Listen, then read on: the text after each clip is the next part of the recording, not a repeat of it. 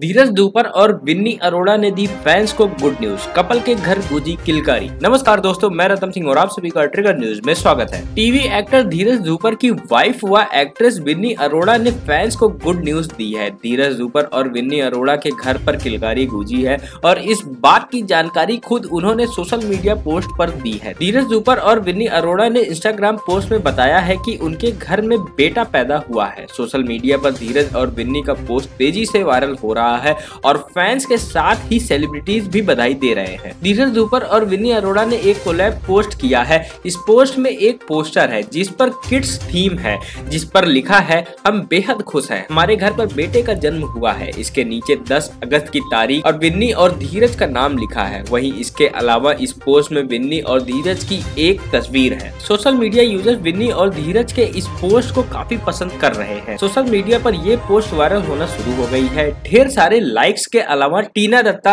अमित खन्ना, कनिका मान रिदिमा पंडित, दिशांक अरोड़ा, विकास, सुप्रिया शुक्ला अदा खान, साइनी दोषी, रिजवान, रूही, धामी दृष्टि, सुमेर सहित कई सेलिब्रिटीज ने बधाई दी है। इसके साथ ही धीरज और विन्नी के कई फैंस पेज ने भी खूब शुभकामनाएँ दी है। गौरतलब है की धीरज और विन्नी की शादी साल 2016 में हुई थी। जानकारी के मुताबिक धीरज दुपर और विन्नी अरोड़ा की मुलाकात साल 2009 में हुई थी। दोनों की दोस्ती माता पिता के चरणों में स्वर्ग मार्ग पर हुई और इसके बाद दोनों एक दूसरे को डेट करने लगे। करीब छह साल तक रिलेशन में रहने के बाद दोनों ने शादी का फैसला किया।